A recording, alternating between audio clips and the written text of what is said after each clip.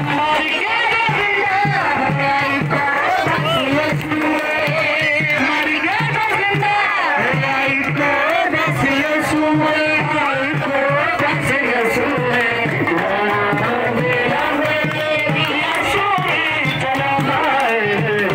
घसि सुठो